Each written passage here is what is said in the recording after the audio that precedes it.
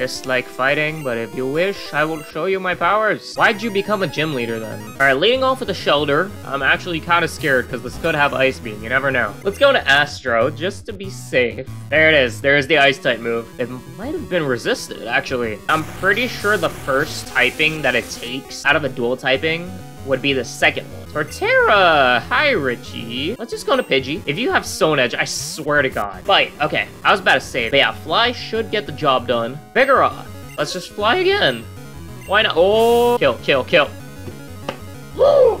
That was the most terrifying moment. I knew I was gonna go for it after I land, and then finally, Luxray. Let's go to Rem, see what happens. There's the bite.